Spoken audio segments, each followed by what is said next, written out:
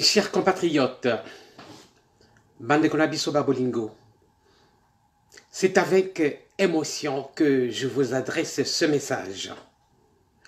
La situation devient de plus en plus grave à l'Est. Les images qui nous viennent de l'Est en disent long. Un compatriote de Goma, un cadre de l'UDPS, euh, je vais taire son nom, vient de me transmettre un document qui est déjà publié sur les réseaux sociaux, mais je vais le publier aussi sur mon profil. Un document qui fait état de la création d'une nouvelle rébellion à, à Kalehe, au sud Kivu. Donc, euh, une nouvelle rébellion qui demande au Bahavu,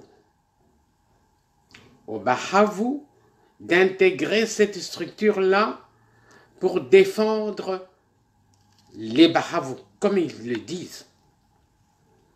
C'est un peu tribal, ils ne parlent pas de défendre le Congo, le pays, ils disent défendre les Bahavu.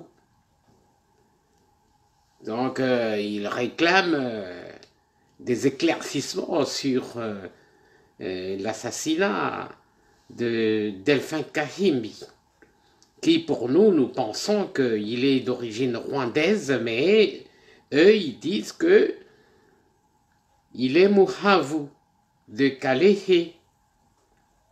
Voilà, c'est selon. Mais de toutes les façons, on nous envoie des images de Congolais. Donc, bande qu'on a biso ba Congolais, hein. Basi na na bana, bazali koboma bango na. Et en plus, ils, filment ça, ils envoient des vidéos, et comment ils coupent les têtes.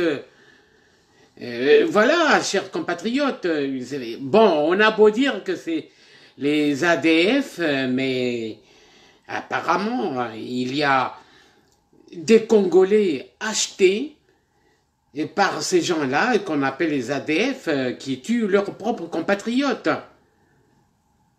Voilà, il est grand temps que les autorités du pays euh, passent euh, au degré supérieur, c'est-à-dire déclarer ouvertement la guerre au Rwanda.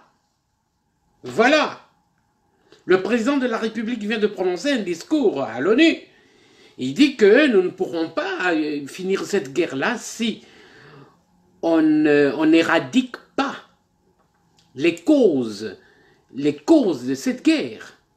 C'est-à-dire, ceux qui appuient cette guerre-là, qui sont à l'étranger, au-delà de nos frontières, vers lesquels ils vendent euh, nos produits euh, de contrebande, c'est-à-dire le coltan, le cobalt, de l'or qui traversent nos frontières.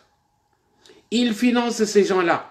Il n'y a pas longtemps, on a intercepté un montant de plus de 800 000 dollars en provenance euh, du Kenya. C'est un montant qui était destiné à financer une rébellion. Donc, nos compatriotes exploitent minéraux financés par des appuis qu'ils obtiennent du Rwanda, de l'Ouganda, de la Tanzanie. Il faut citer leur nom, même du Burundi. C'est pour ça que bah, je pense que le président de la République, il se sent faible maintenant, il se sent faible. C'est pour ça que il a lancé un appel à la communauté internationale. Nous demandons à nos compatriotes de s'impliquer. Pourquoi pas des volontaires de s'enrôler dans l'armée pour en finir une fois pour toutes? Jusqu'à quand attendrons-nous la fin de la guerre de l'Est? C'est horrible ces images-là si vous les regardez. Voilà, Bandeko. Donc, euh, Ezala qui coup de gueule. Donc, j'ai pas, je n'ai pas supporté de regarder ces, ces, ces images-là. Donc, euh, la situation est grave à l'Est. Nous devons prendre ça au sérieux parce que, oui, l'état de droit, c'est bon.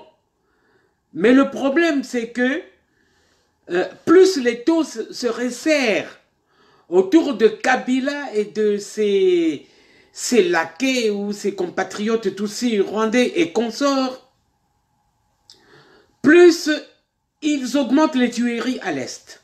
Donc, le lien n'est pas compliqué à établir. Le lien n'est pas compliqué à établir. Donc, il faut inquiéter ces gens-là. Il faut les inquiéter. Ils sont connus. Ils sont à Kinshasa. Et pourquoi pas la population peut se révolter? Que la population se révolte comme certains de nos compatriotes qui sont partis demander l'expulsion de l'ambassadeur du Rwanda. Mais non, trop c'est trop. Voilà, chers compatriotes, euh, je termine par là. Que Dieu bénisse euh, la République du Congo et nous donne beaucoup de force. Voilà.